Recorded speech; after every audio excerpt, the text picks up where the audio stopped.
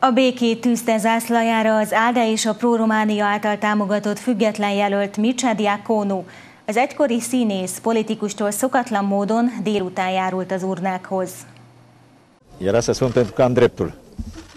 Így próbálta egykori színészi kelléktárához nyúlva elviccelni az újságíróknak azt a kérdését, hogy miért szavazott Mircea Diákonú független államfőjelölt, akit az ALDE és a Pro-Románia támogat.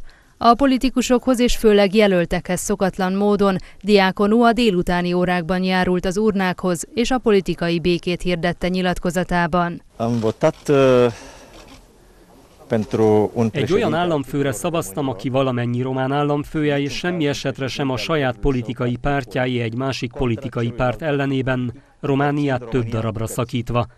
Sajnos 30 éve ez ugyanúgy történik, teljes szívemből remélem, hogy minél hamarabb sikerül békét kötnünk ebben az országban. Mircea Diákonú hozzátette, csak a családjával érkezett, nem hívott senkit sem, hogy vele jöjjenek a szavazásra, de sok támogatót talált a szavazókörzetben, és ők azok, akik mellé álltak, mikor nyilatkozott.